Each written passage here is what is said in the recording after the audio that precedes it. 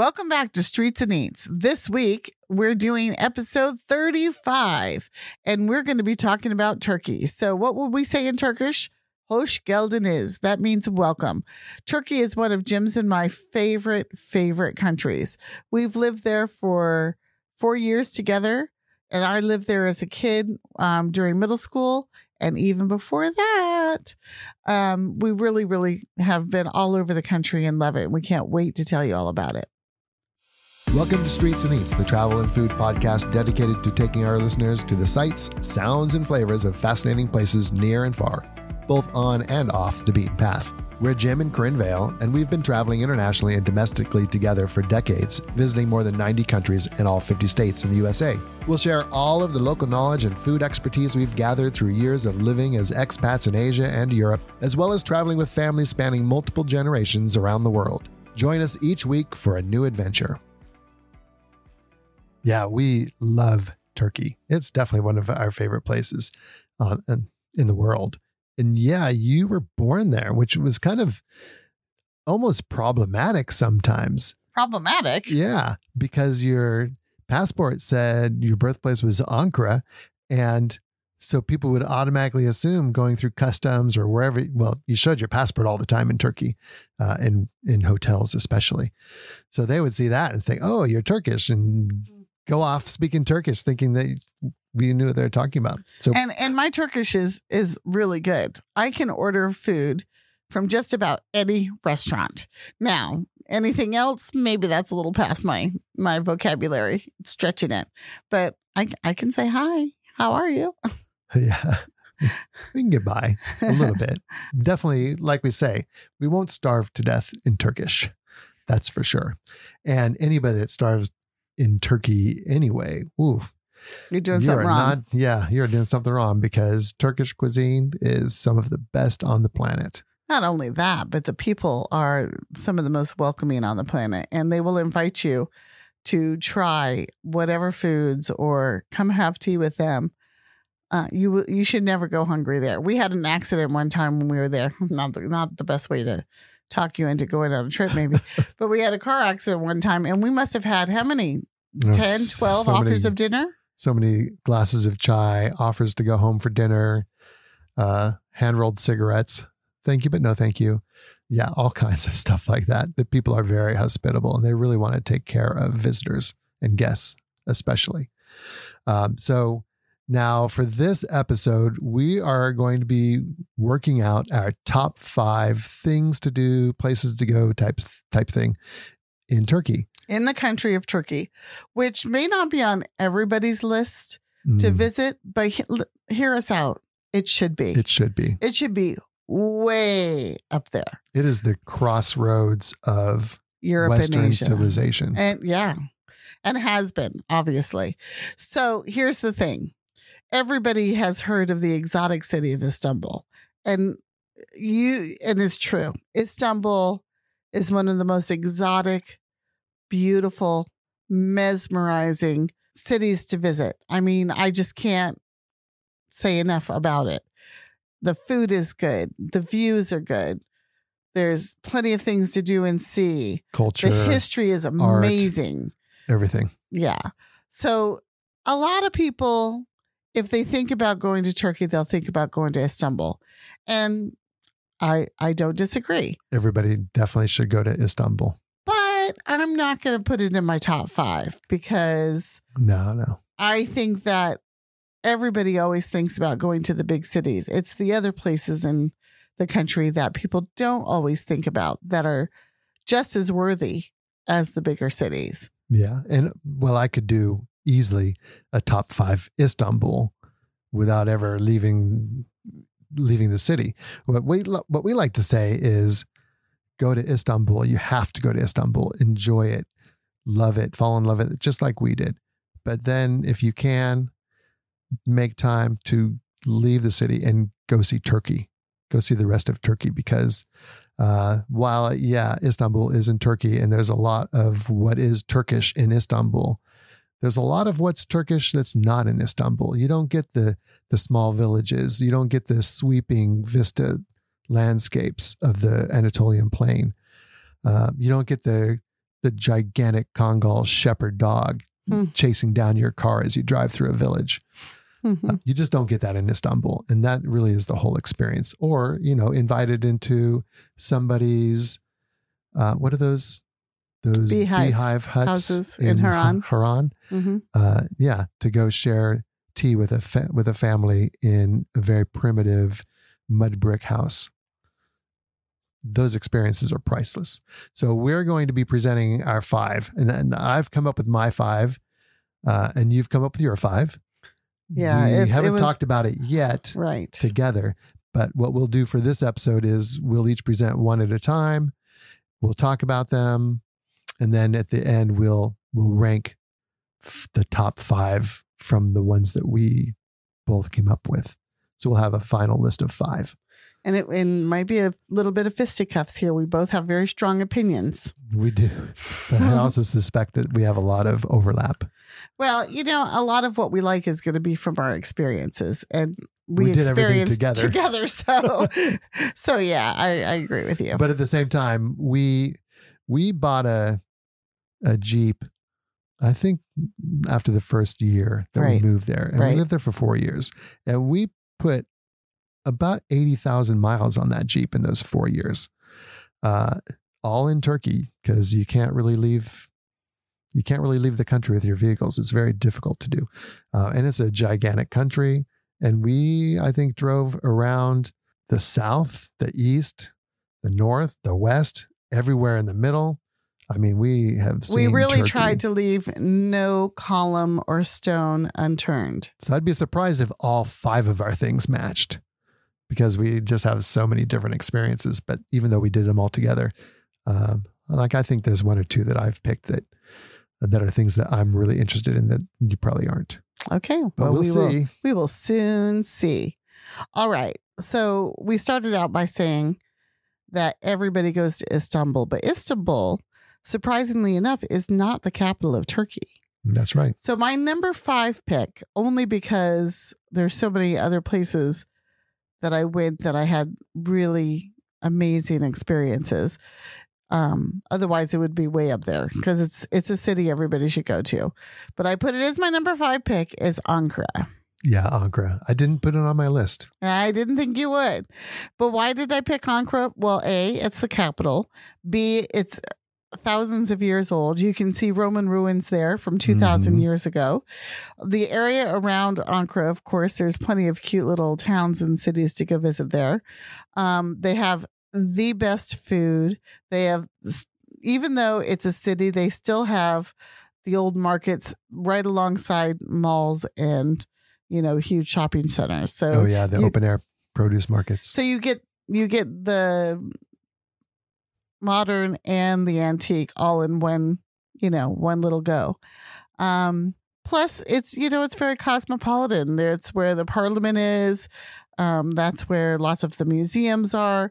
Some of the best museums in the country always go all the artifacts go to those museums. So for me, going to the capital city is always really important. And yet, I don't think that many people think about going to Ankara. If they're going to choose a huge city, they're almost always going to choose Istanbul. So that's why I put it on there. Well, and it's kind of like the birthplace of the modern Turkish Republic as well. So you've got all the Ataturk um, museums and, and history there as well.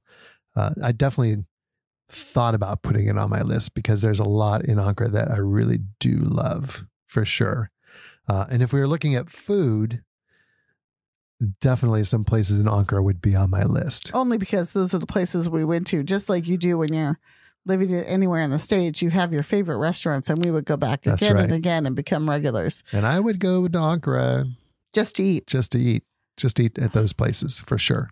So But- like but the really- Göksu or uh, Uludağ. hmm Mm, oh yes, there's a lot of good food there too. But the sites are fantastic. I mean, you Mhm. can't overlook the sites. The Kale, the old castle where you climb all the way up the hill, and it's almost like an old Turkish village up in the middle of the Kale, and you can look out across the city of 4 million people. Great views. Oh yeah, and you can buy, you can find everything up in that up in that area around the Kale.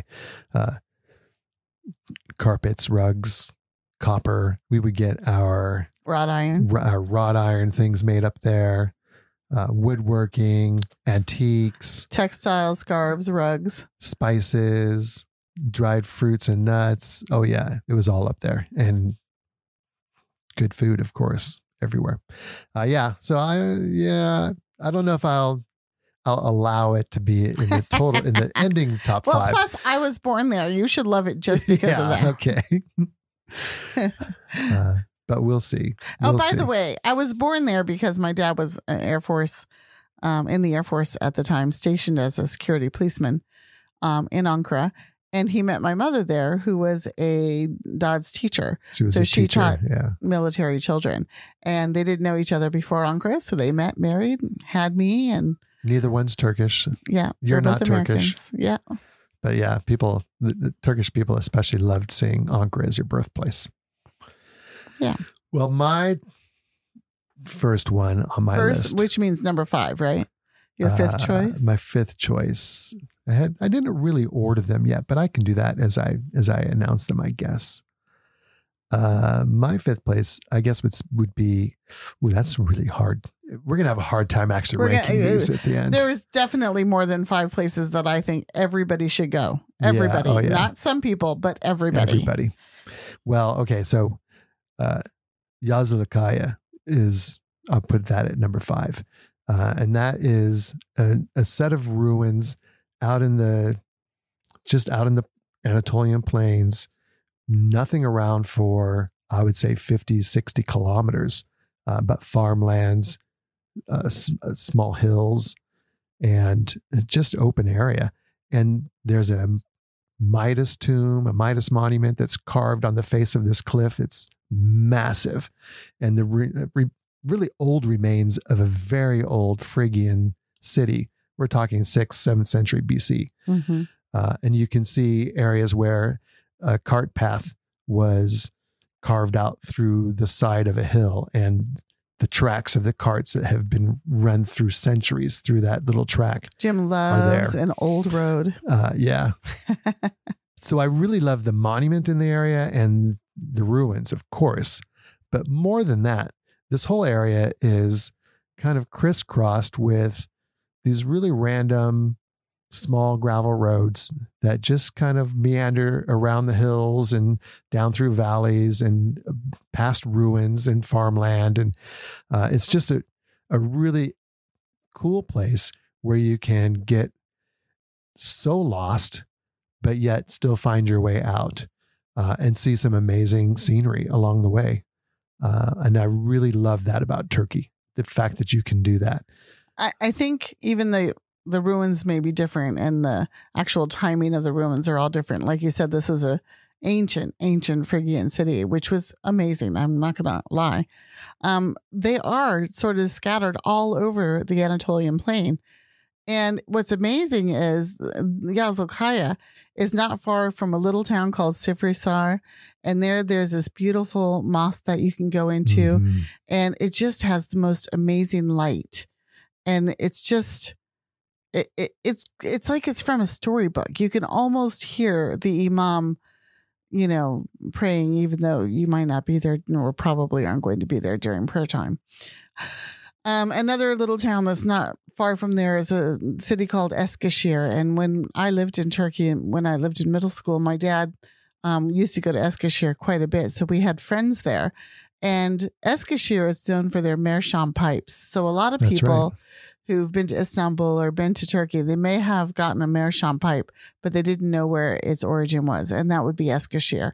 And you can go to Eskişehir and watch them carving the pipes the or whatever. artisans are still there carving Mhm. pipes to this day. And, and we're they talking have the pipes are it's if you're not familiar with a meerschaum, it's a very soft white stone um, that almost is- chalky. yeah that is excellent for carving. Um, but at, when it gets heated up, it hardens. So it's perfect for a pipe, a tobacco pipe. That's the type of pipe we're talking about here. Uh, but they carve other things out of it as well if you're not a smoker. And even if you aren't a smoker, they are still beautiful pieces of art. Beautiful. Uh, a lot of times they'll do Ottoman uh, sculpture of Ottoman sultan or warrior or uh, beautiful women, ships, all kinds of stuff. So Yeah. those are really cool. Yeah, I'd well, forgotten so about that. I do like Yazilikaya. There's not much about Turkey I don't like, but yeah, I'll have to see where that ends up on the list. okay. So what's your number four? My number four was, for lack of better place to put it, Gaziantep. And when I say Gaziantep, I, I kind of mean the whole area down in southern Turkey. You already mentioned um, Harran. Yeah. Harran, the little town that's not far from there with the beehive houses. Um, and then there's another town called the city nearby called Şanlıurfa, which is really cool. It has a a very famous mosque that that there's many pilgrimages to, mainly to see the carp in the moat, um, and feed the carp because of the story of Abraham sacrificing his son. Um, it's a well well visited site for Muslim visitors, but you don't often see a lot of foreigners there. Um, there's also um, one of the things that a lot of people may have heard about just recently, um, and it's the ancient site of Göbekli Tepe, which is they're uh, they're looking at 13 14,000 years old. And they've uncovered these temple figures and um I guess columns that they've carved into Mm, animal um, reliefs. with and animal like reliefs and Yeah. things. Yeah. Um, so that's all in the area, but the city of Gaziantep itself is just a bustling mecca of old timey uh, Silk Road goodness. It's got it's it's well known for its baklava. Mm, yes. It's the famous place for baklava. And if you run into anybody here who's Turkish and serves baklava, if they're not from Gaziantep, they almost always will still mention Gaziantep Yes. because it's that well known. Um, and the place to get it is a little restaurant called Imam uh, Çağdaş, which we would go to every time we were in the city. They also have a beautiful mosaic museum there where you can see muse- uh, mosaics, Roman mosaics have been pulled up from all around the area. Like I said, the whole Anatolian plain is just littered with ruins. And one of the things that you'll often come across is this flat space on a ground near a ruin or in a ruin that's covered with plastic or something. And if you are able to get a kapıcı, a, a maintenance worker manager to help you move that, you can usually see part of a an amazing Roman mosaic that's still intact and still just out there on the plane. in situ. um, in situ, yes. Um, but lots of times they've also moved them to preserve them as well. Um, there's lots to do in the town. The bazaar, um, the market area is fabulous. And it, I swear to you, it's just like straight out of a movie. I mean, you think you were in Casablanca or something with the winding cobblestone Oh, roads. I, I think it's a lot more like um, like the scenes from Aladdin, where they're Yeah. running through the market area, and it's very close in with the buildings, but you still have all the different wares for sale and fruits. And uh, the one thing I really like about Gaziantep is the leather market. They've Mhm. got great leather goods there. Uh, yeah, and all that stuff is just like packed in these little this warren of alleys and oh yeah yeah i like gaziantep too and The they have one of the best civilization museums on the planet one of the things I try to think about when I was making my list is access. Like Yazilikaya, amazing. you need a vehicle but you need a vehicle to get out there. Now, driving in Turkey is a risk. but it's also a great reward but it with risk comes great reward. I agree with you.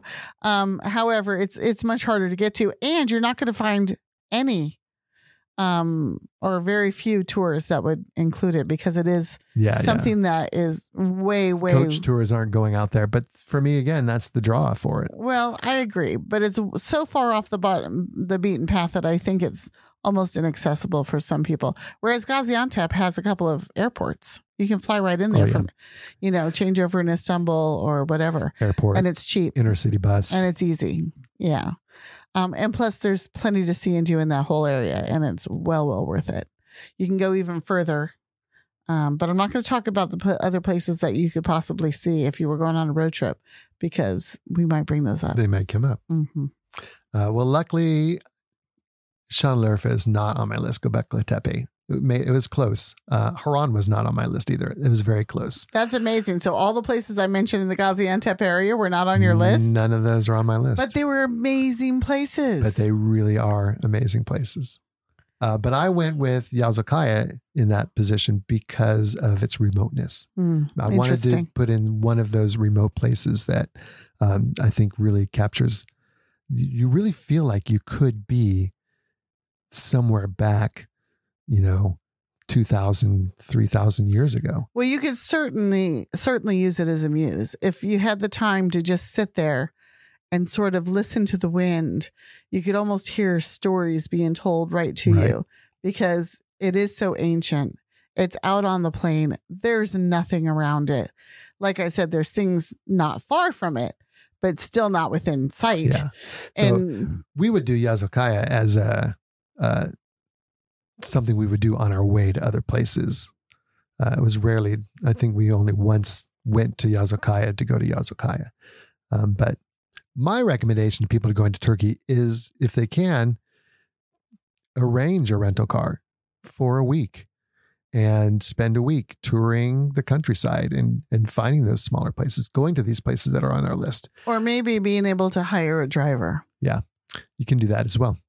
Okay, so my next one then would be um hmm, Beypazarı, which is very Mm. close to Ankara. hmm Um and I, I, almost put Beypazarı down. and I almost said Ankara and included Beypazarı in it, but I'm going to say Beypazarı by itself because uh, you can fly into Ankara and you can make Ankara a base and you can do all of the things on my list at least um, could be done using Ankara as a base or maybe one of two bases. So Beypazarı is this old Ottoman village uh, on the plains, of course. And it's just got a stunning backdrop driving into it. It's at the edge of a very small mountain range that's uh, doesn't have jagged peaks, but it has jagged cliff faces uh, and gulches and valleys that are just cool as you're driving in. Uh, but then you get into this village, and it's the old Ottoman wooden houses uh, in the center of town. And they've done a great job of preserving the feeling of a village while um, allowing tourism to flourish. So it's not, the houses aren't full of souvenirs that were made in China or um, Indonesia and then brought in for sale. These are local handicrafts when they're handicrafts. A lot of like wool socks that have been knitted by the the local, which um, I never women. passed up. uh, wooden spoons that have been carved, knife making, copper, of course, uh, carpets, things like that. Um, my favorite, of course, is the food. They're very well, it's a very agricultural area. That's right, and it, and it's all uh, homemade products. Mhm. Um, so they're pretty much making everything right there. They're producing everything that they need to make the final product. Um, so if it's the baklava, they've they've been growing the wheat and and they've made the the um, You've yufka, and the walnuts were grown there, and you know maybe the sugar had to come from somewhere else, but probably even that came from sugar beets that were grew that's in the exactly area. right. Yeah. Uh, and so we would have this one baklava house that we would go to, and they would just bake these gigantic round tins of baklava. I'm talking like four or five feet in diameter. And you would go in there and get this baklava. Now it's different baklava than what we would get in Gaziantep. hmm Uh, And it wouldn't be considered by the Turks as good as anything in Gaziantep. exactly But for us, especially as foreigners, first of all, it was delicious. Whether it was the best or not is beside the point. But for us, it was also it was the family that ran the that's place. right. It was the experience of it. Mhm. Uh, yeah, it was good baklava, but it was not like I wouldn't go out of my way to get the baklava. I would go out of my way to go there and have tea and baklava and chat with with And they the also family made- that ran the place that made the baklava. And- They also made and sold stuffed grape leaves. oh, that's right. So we, I, and I mean, uh, as well as other things, but the stuffed grape leaves and the baklava, they were almost a given. We would go almost every time we went to Beypazarı. And since it was about an hour to an hour and a half from Ankara, we went, I would say, almost once a month Mhm. We we rarely let a couple of months go by before we would go back to Beypazarı because we always wanted to go eat there. There was always new produce that was um, in season. Uh, the cherry season there was amazing. The tomato season was also amazing, and I mean, people would just bring back flats and flats and flats. well, of course, they would come back with bottles of carrot juice And, and carrots because what they were really known for produce wise was the carrots. And right, havuç, right at the beginning of the old town, the main street that would go up through the old town, the walking street,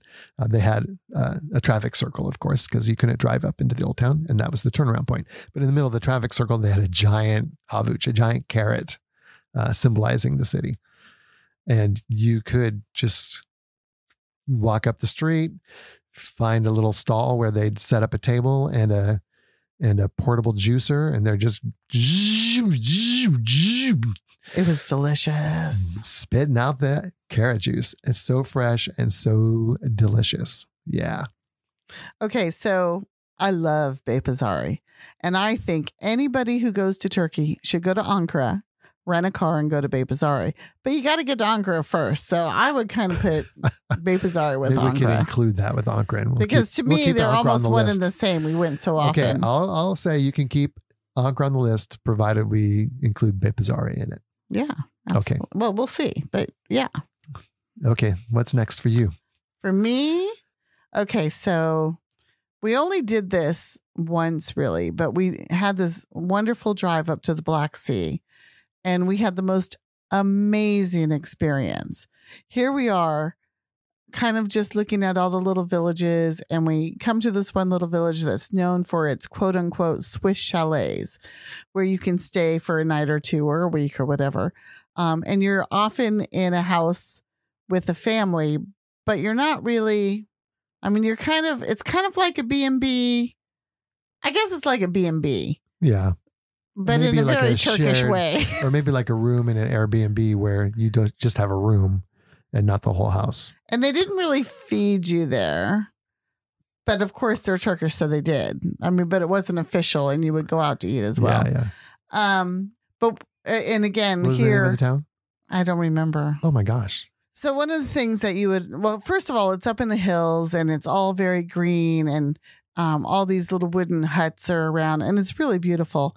The ladies are sitting out there and they're knitting, like Jim said, all the socks, which I was just in love with. So I never ever went anywhere without buying some.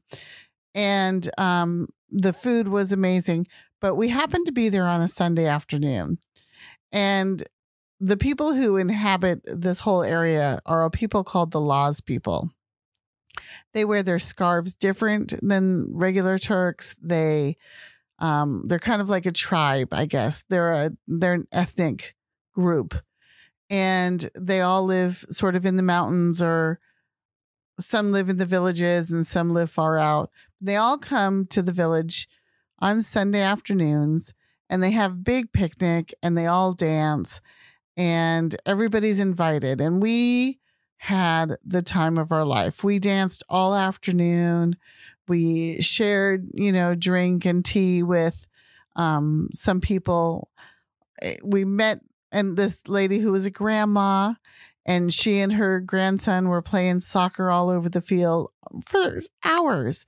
And it was just this communal where you you would meet up with old friends, but you would also be with just your family group if you wanted to. And it was a lot of fun. And the whole area is beautiful. The Black Sea is gorgeous. Um, it's it's just a different part of Turkey. It feels different. It looks different, and it's so well worth going to. It was like in the Rize Artvin area, wasn't it? Yeah, yeah. Yeah, I can't find it. Well, we'll put a link for it in our show notes, Yeah, we'll find it. so it's not a big deal.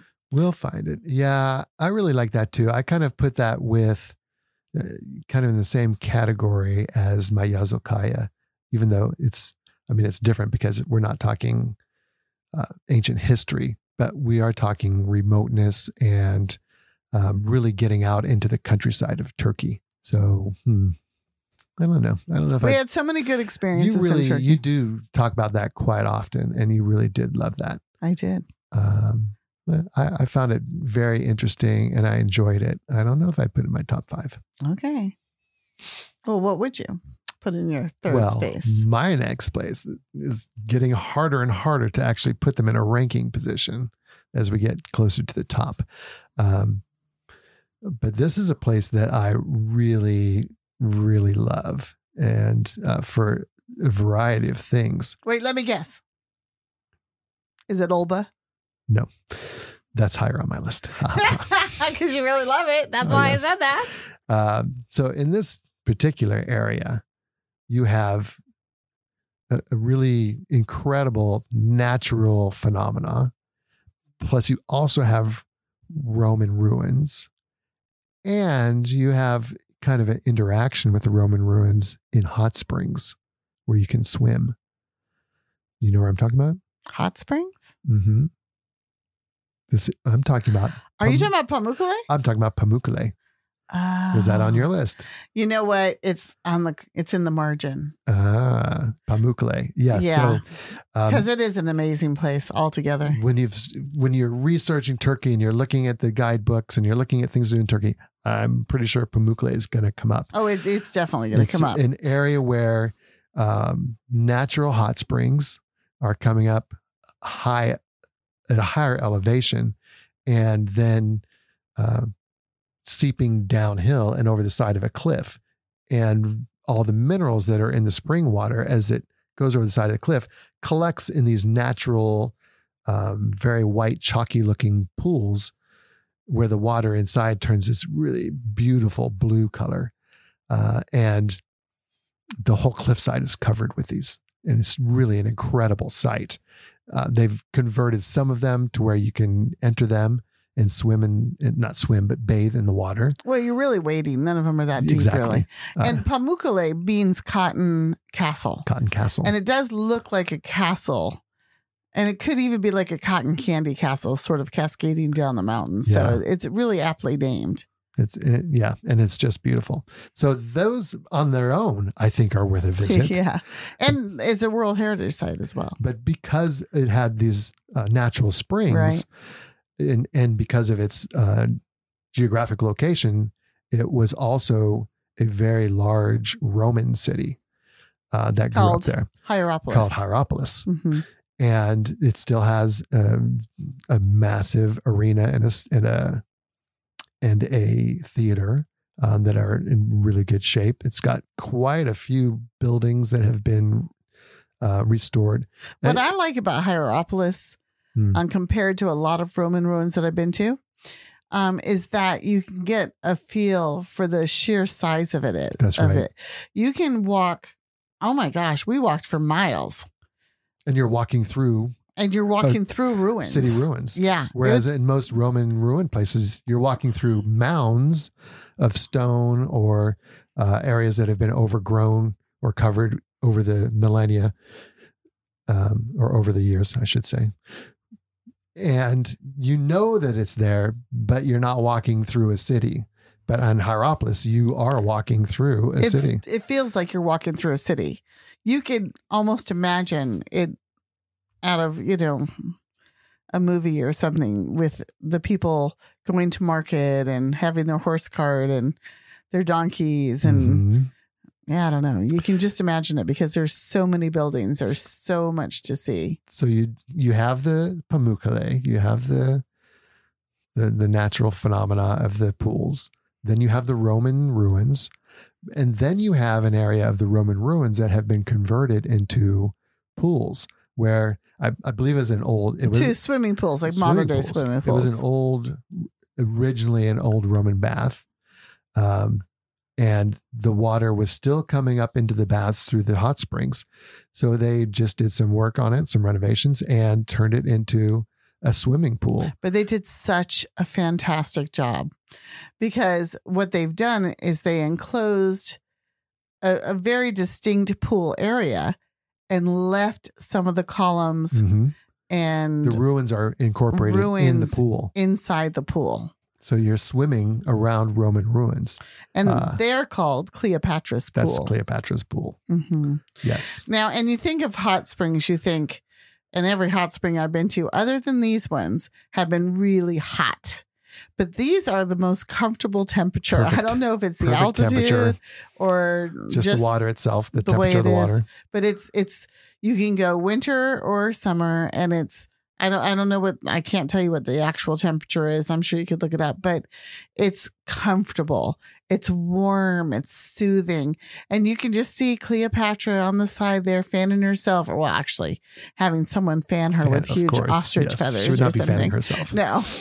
Two or three. Yeah. It is be a fanning her. beautiful place. I totally agree with that. And uh, it, it's in another place that um it, it's all by itself in some ways, but there's not far from there are other really Yes. cool things to do. and there Turkey. will be you can definitely get tours to the area Mhm. from from anywhere you're going to be in Turkey. Yeah, if you take a, you know, whether you take a group tour or whether you just want to take a tour to go see that um, alone, you, you can easily set that up. That is very accessible because Right. it's a World Heritage Site and it's very famous. Or an intercity bus will get you to the town nearby, and uh, there's a small a small van that you can hop on and it'll take you up there, or a taxi or an Uber. Uh, so yeah, very accessible. Yeah, so we might have to make sure that's on the list because That's we both be did actually list. write it down. I just had to sort of mm, move it over for other things. Scratched It's- it off. Five is five is not enough. I mean, it really needs to be the top ten, but we we're committed to five. So, Yep. Okay, so my next one, and it's kind of what I was talking about when you said Olba is Kizkalesi Yeah. and the area around Well, I, Kizkalesi. su- I suspect that our next, our, our last few, we've matched. I, probably. I don't see how we couldn't I have. don't know that I. See, I may have put it in a different position, but it's definitely on my list. So I wrote it down as Kiz Kalesi because that was always our our actual end goal. We used to, used to stay in Kiz Kalesi, and Kiz Kalesi is this little town um, on the Mediterranean Sea, hmm and it's super special because there's it's just small. There's not a whole lot of people there. There are a few resorts, but there's uh, never too many tourists. And on the public beaches, I mean, there's a few Turks, but I mean, we've been there all the, you know, we don't usually go in the Midsummer, of summer. it gets crowded. It probably gets crowded then. We Mm. never went then. We always went in the fall because the water Yeah. in the mid is so beautiful in the fall. but it does get crowded in the, in the summer for sure. Um, and what's special about it is it has two castles um, that you can explore. One is onshore and it's just off the beach, and you can, you know, climb around it. Piece of cake, a couple euros to get in. Um, I mean, a couple of lira. And then you, the other one is offshore. It used to be connected to the shore by a sort of a little tiny land bridge, but that's fallen into the sea and you have to actually swim to it or boat to it to get to it. But it's only 200 meters and it's an easy swim. So we've swum to it. And the only thing is you need to wear water shoes, but you scramble up on the rocks and here you are in the middle of a castle. It's yeah, fabulous. an old, uh, I want to say Ottoman castle, but then was taken over by the Crusaders. Uh, so it's got the Crusader history. And yeah, where else can you swim to a castle uh, out in the middle of the bay? And it's beautiful water. It's perfect swimming water. Uh, we're not talking surfing, of course. Uh, definitely, Kizkalesi is on my list. And I probably did the same thing you did. I wrote Kizkalesi, but I'm including a couple of the places with that. Yeah. Cause we used to go down there at least once a year because it was one of our places that we love so much. The food is fabulous. We got to know the people down Mm. there. Um, some friends of ours had apartments and we used to go there and uh, meet up with them. So we did boat trips out on the Med where we would, the boat takes you to these uh, underground. underwater pool or underwater caves. caves. yeah, that are really cool to go Finish to. up with a seaside uh, seafood dinner.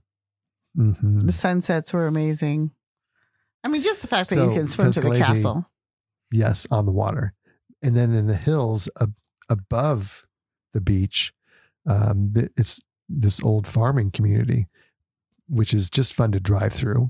Uh, it's got old Crusader era churches. It's got, Yeah. of course, old Ottoman tombs. hmm uh, Roman ruins. Uh, and I've so it- with Kizkalesi, I included Olba and Uzuncaburç, hmm which I figured you did as well. And so those are the Roman ruins above the town. Uh, we're talking about a, a 30 minute drive. Yeah, only half an hour or so but out of mainly town. because you're winding your way through fields and village uh, to get to the. and there's no gas stations around there. So if you didn't Yeah. fill up in Kizkalesi, then you might be in trouble. Except one time we saw that the gas truck will come to you. Yes. if you can catch the truck as it's heading between villages, it will stop and fill up your vehicle. We saw one person flag him down and fill up his tractor, uh, an Esso truck. That's right. Uh, and that was at Olba. Now, Olba is uh, Roman aqueduct. a Roman aqueduct that spans across a valley, um, partially fallen down. I think it's probably got two or three of its uh, arch of its arches left, uh, and it's two levels high. And you can just scramble all around the area. You can follow the aqueduct as it makes its way through the hills, so you can see where those um, trenches were were dug out and lined with stone. Um, but the the aqueduct itself crossing the valley is probably the most spectacular view I think in in all of Turkey Well, and it's so d- deserted, and it's deserted. remote. There's nobody there. It's really not that far from civilization, as we said, but nobody goes there. and it's of course the aqueduct what was this your list? Oh, this is yours so you can keep going. Kizkalesi? Yeah. Oh, well, I mean, we both have it. we so- both have it. So I think you can chip in. Okay. Well, you want to talk about Uzuncaburç? Uzun Jaberch is one of my favorite places too. Yeah. Again, it's just a village, and there are some Roman ruins there. There's a temple of Athena, and we're talking old stones, no matter what. One Mm. time we went there, there was a shepherd, an old lady. She couldn't have been younger than 85, one cow. and a whole herd of, she- of goats. Yeah. Yeah. So they were wandering all around the ruins. Um, and that was, I think that was the first time we went there. But we also met um, one of our Turkish friends there, and he and his wife always invited us in for dinner. And so we would go back year after year after year.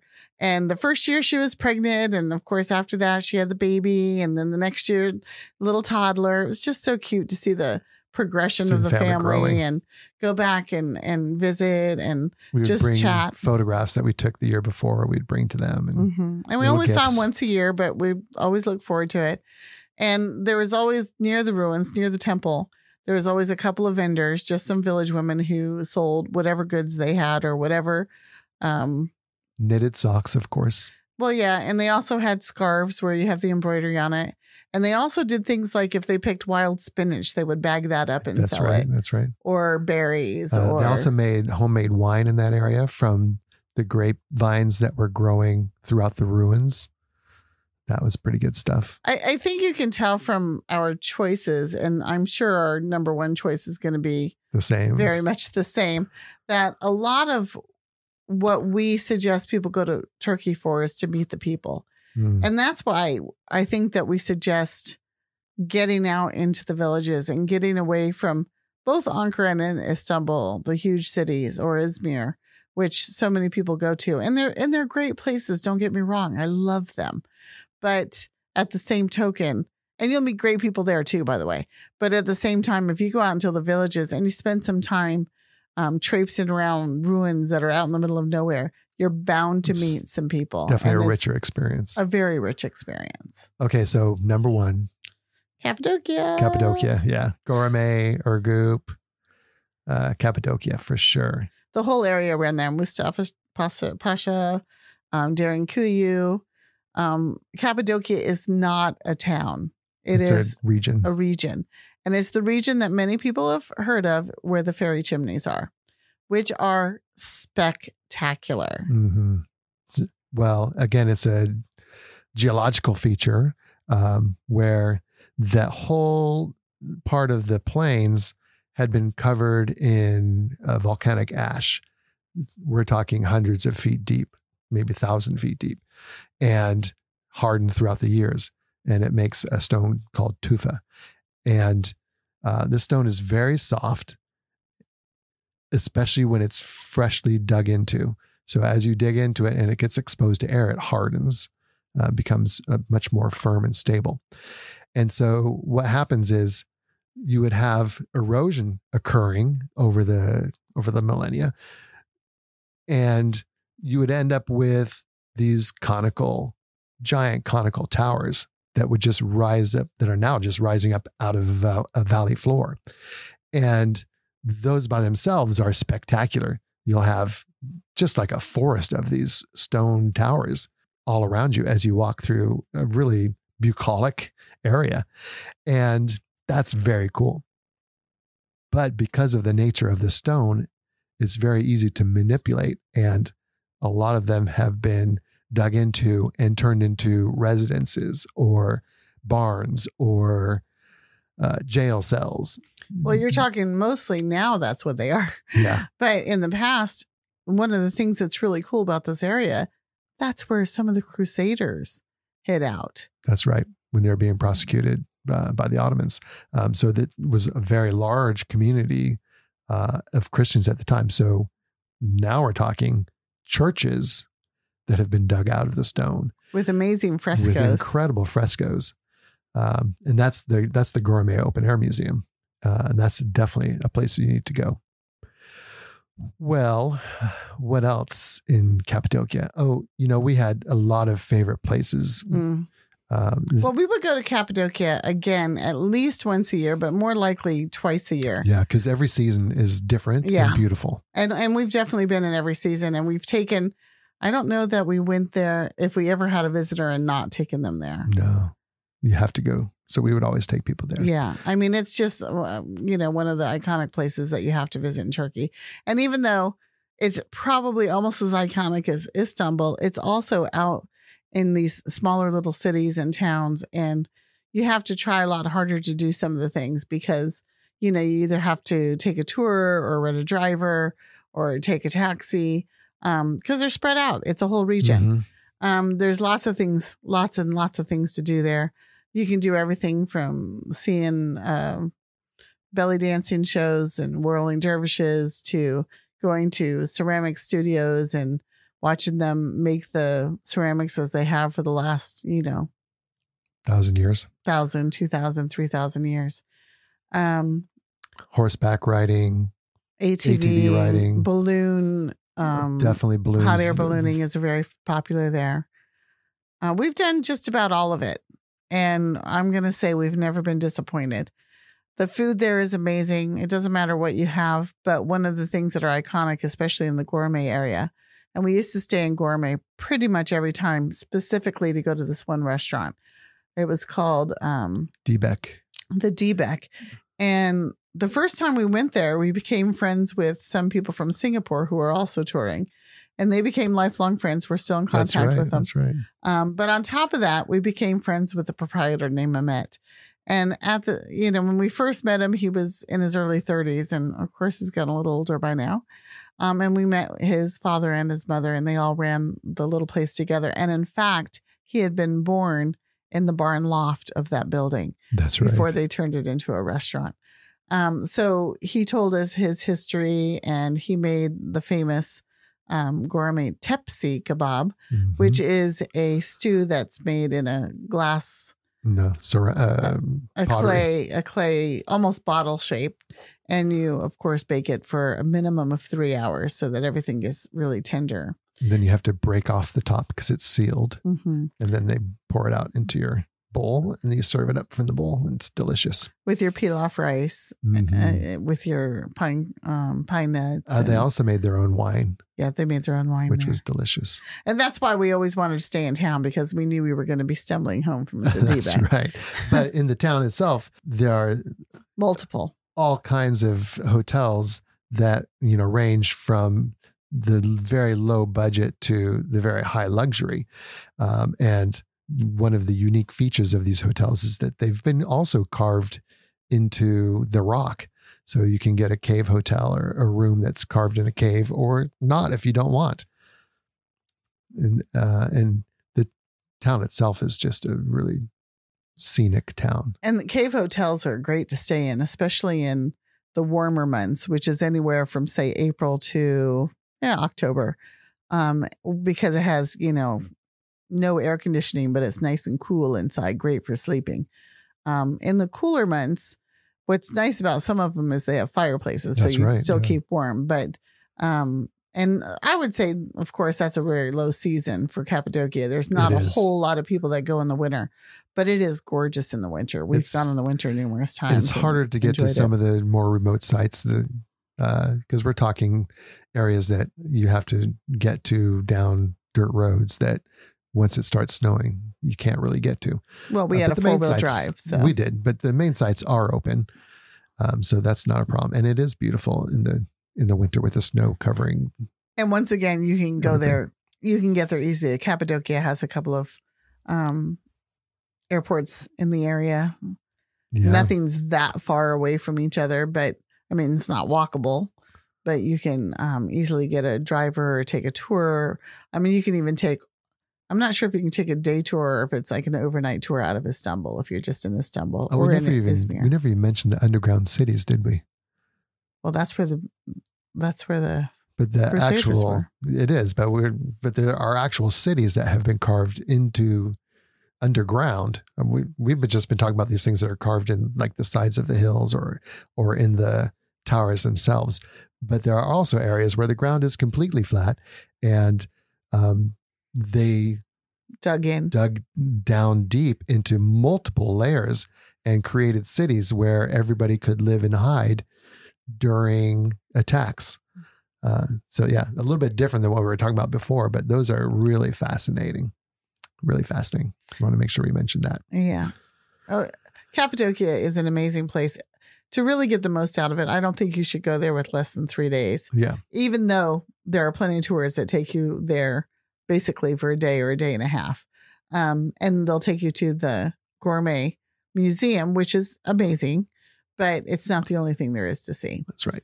Um, so do we need to Okay, so let's rank. Do rank it? go? We didn't really have that many different ones. We didn't. I think we can all agree on number one if we want to go from one Yeah. down. One is definitely Cappadocia. Two Yes. is definitely Because Kizkalesi. Now that's where it starts to get. From there, we have the Black Sea, Gaziantep, Ankara, Pamukkale. Anything else you had? Uh, oh, and. Yazilikaya. I, I- I gotta say, I gotta take Yazilikaya Yeah, off okay, the we list. can take Yazilikaya. Only because it's just too hard for people to get to. and Not that um, I think it's any lesser for it. In fact, it's probably better for it. But yes. I just don't Well, think which is why I put it. there. And if you've got a car and you are doing Turkey self drive, uh, which is the best way to do it, you're going to find things like Yazilikaya all throughout the country. So In fact, we have a lot, something like 80 articles on Turkey on our website, Reflections Enroute. right. So definitely take a look at that if you're planning a trip and drop us a line. We'll get, we'll tell you, you know, Okay, how to so- do things. I guess I would put number three, Gaziantep.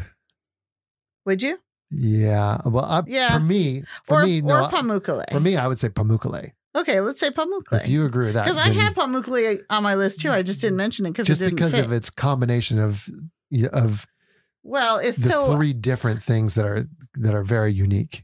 yeah. It, that's what it is. It's the uniqueness. You can't find that anywhere else in the world. Yeah. Okay, good. I like that. So And by the way, when we when we went to Cleopatra's pool, we've been a few times, but we only swam in the pool one time, and that happened to be in February, and it was it was beautiful. uh, incredible. the weather was pretty nice that day, but it was of course cold out because it was February. Mhm. Um, but we were so comfortable. We were the only ones in the pool. It was Water wonderful. was perfect. Yeah. Yeah, yeah.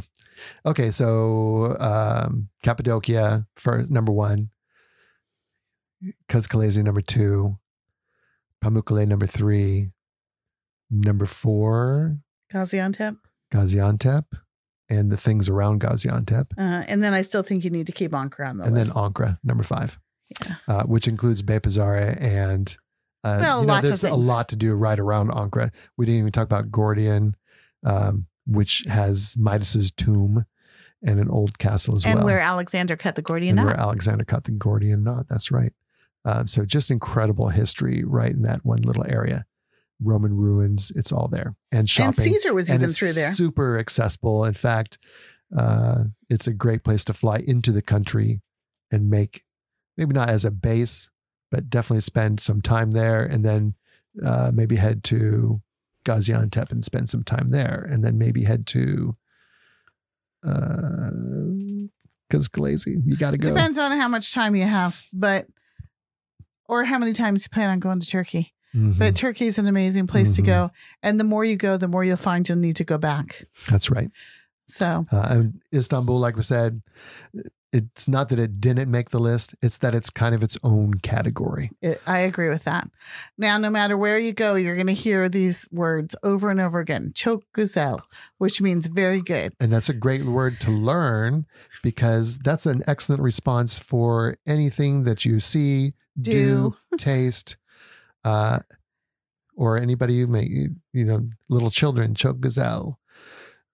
The tea that you're drinking, cho- çok güzel. Everything is very beautiful. That's right. Well, we hope you've enjoyed learning a little bit about Turkey and where we suggest that you go. Like we said, it's one of the countries that we love the best. So we can talk, Talk more and more and more long. and more about it. Um, but we won't. Um, if you have any questions, drop us a line and join our private Facebook group at Streets and Eats. And then you can ask away and we will help you out. Yeah. And if you have any recommendations for things in Turkey that you think we left out uh, or should have made our list, share those. We'd love to hear them. There's plenty. I think one place people have a lot of people have gone because of cruises is um Roman ruins, or maybe they're Greek ruins. They're Greek ruins of Ephesus and the Greek ruins of Yeah, we didn't even talk about Ephesus. And we didn't even talk about that whole East Coast, and there's tons of stuff over there. So there's plenty more. Trust us. All right. Thanks for listening, folks. We appreciate you. All right. Thanks for listening to this episode of Streets and Eats. If you liked what you heard, please show us some love, hit the like button, and leave us a review. Maybe even subscribe so you don't miss any future podcasts. Also, we'd love it if you joined us on our Facebook private group, Streets and Eats, where we just have an ongoing conversation about all things travel. Ciao for now.